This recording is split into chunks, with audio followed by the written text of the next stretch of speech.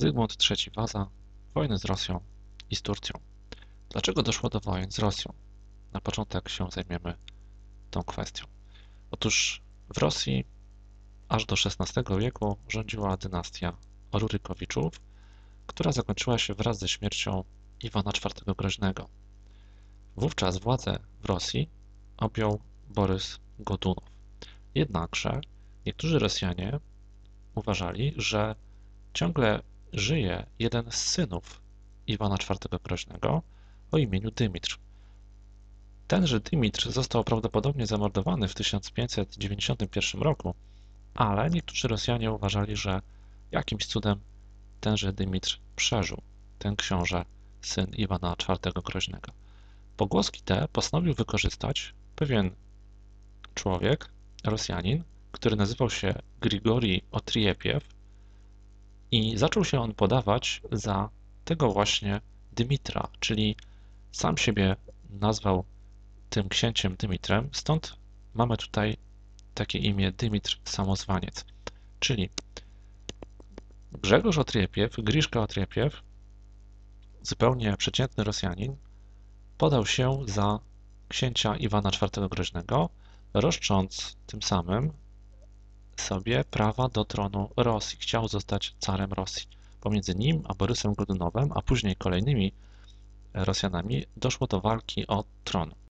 I ten okres walk o to, kto e, ma rządzić w Rosji, nazywamy Wielką Smutą. Jak widzimy, trwało to kilkanaście lat.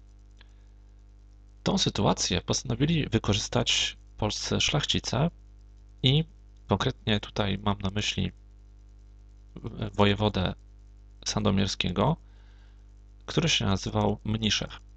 Stwierdził on, że skoro ten Dymitr Samozwaniec ma szansę przejąć władzę w Rosji jako car, to można mu udzielić wsparcia i coś z tego dla siebie uzyskać. Wydał on w związku z tym swoją córkę, Marynę Mniszównę, za mąż za tego Dymitra Samozwańca. Liczył na to, że jeśli wszystko się uda, cały jego plan, to on zostanie teściem cara Rosji.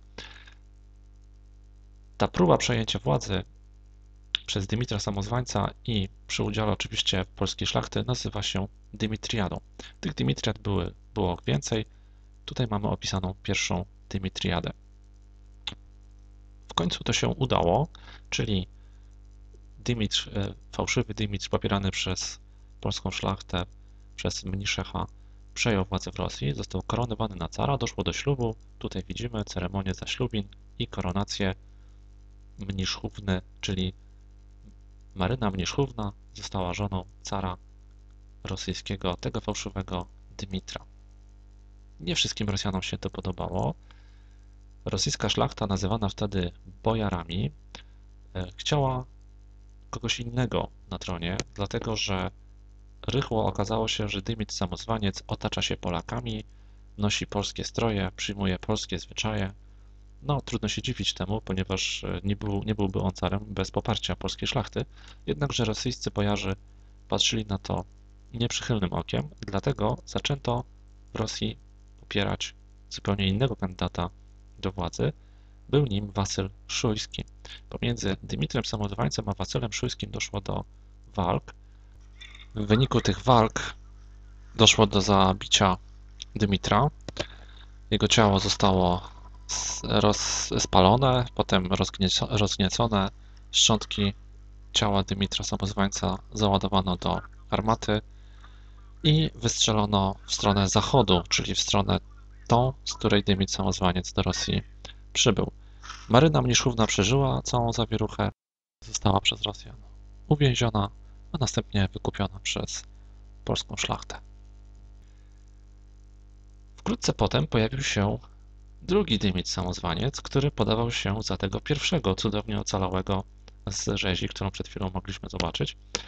I tenże drugi Dymit Samozwaniec również dostał wsparcie naszego wojska, e, jednakże e, to wsparcie, którego udzielaliśmy Dymitrowi doprowadziło do wojny z Rosją, tym bardziej, że Rosjanie zaczęli się sprzymierzać z, ze Szwedami, a jak pamiętasz, w tym samym czasie Zygmunt III Waza toczył wojnę przeciwko Szwecji. Więc żeby oderwać Rosjan od sojuszu ze Szwecją oraz żeby jeszcze raz spróbować przejąć władzę w Rosji przy pomocy Dymitra II Samozwańca, Polska rozpoczęła wojnę z Rosją. I naszym hetmanem, który w tej wojnie prowadził nasze wojsko, był Stanisław Żółkiewski. Pod jego dowództwem doszło do bitwy w 1610 roku, bitwy pod Kłuszynem.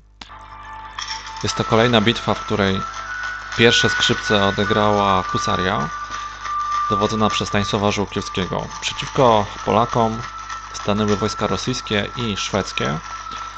Żółkiewski stwierdził, że najpierw należy przypuścić atak właśnie na wojska rosyjskie, które uważał za najsłabsze, ponieważ to byli zwykli chłopi w większości, nie przeszkoleni do walki regularnej. Ponieważ Polaków było o wiele mniej niż przeciwników, husaria musiała szarżować aż ośmiokrotnie, czyli szarża, następnie powrót i kolejna szarża i tak dalej. Rosjanie się chowali za płotami drewnianymi, które uniemożliwiały szarże. Te płoty trzeba było zniszczyć w czasie, w czasie bitwy, jeszcze przed, przed bitwą również próbowaliśmy. Husaria, jak pamiętamy, fantastyczna konnica. Taki husarz potrafił na swoją kopię nadziać nawet do sześciu ciał przeciwnika.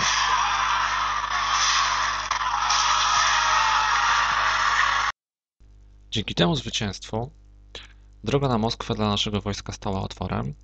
I zobaczmy na mapę.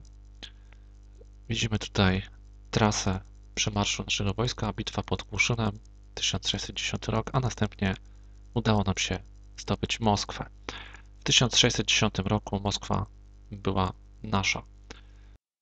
Warto tutaj sobie jeszcze uzmysłowić, że Polacy są jedynym narodem, jak dotąd, który zdobył Moskwę w walce Zajmowali Moskwę wcześniej Tatarzy, później Napoleon Bonaparte, ale nigdy wskutek walki. Tylko nam się to udało.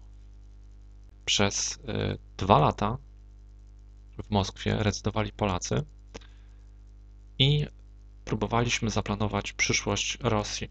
Rosyjscy bojarzy proponowali, aby nowym carem Rosji został syn Zygmunta III Wazy, Władysław. Jednakże był problem, bo Rosjanie chcieli, aby ich car był wyznania prawosławnego.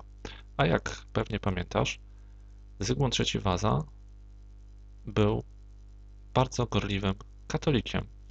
Ponadto Zygmunt III Waza sam chciał być carem Rosji, nie chciał, aby jego syn zdobył tę godność. W wyniku tego problemu nie doszło do przejęcia władzy Polaków w Rosji w sposób trwały, Wyobraź sobie, jakby wyglądał kraj nasz, gdyby się udało utworzyć Rzeczpospolitę Trojga Narodów wtedy, czyli kraj złożony z Polski, Litwy i Rosji. Powstałoby państwo ogromne i potężne. Stało się inaczej. W 1612 roku bojarzy w końcu się zorganizowali i usunęli nas z Moskwy. Staliśmy pokonani wtedy. Na pamiątkę tego wydarzenia kilka lat temu w Rosji ustanowiono święto państwowe i niedaleko Kremla, na Placu Czerwonym, postawiono pomnik, który właśnie upamiętnia to wydarzenie, ale wojna z Rosją toczyła się dalej, aż do roku 1618.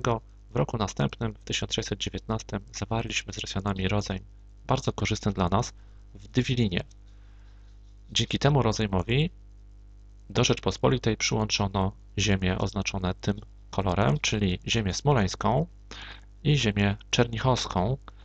To są nasze zdobycze na wojnie z Rosją. Zaraz później zaczęliśmy konflikt z Turcją. Dlaczego doszło do tego konfliktu? Po pierwsze, terenem spornym pomiędzy Polską a Turcją była Mołdawia, czyli obszar położony na granicy naszych obu państw. Po drugie, w tym samym czasie toczyła się w Europie wojna trzydziestoletnia, wojna religijna. Turcy i Polacy w tej wojnie również zakulisowo brali udział. I wojna y, zaczęła się dla nas niekorzystnie od bitwy pod Cecorą.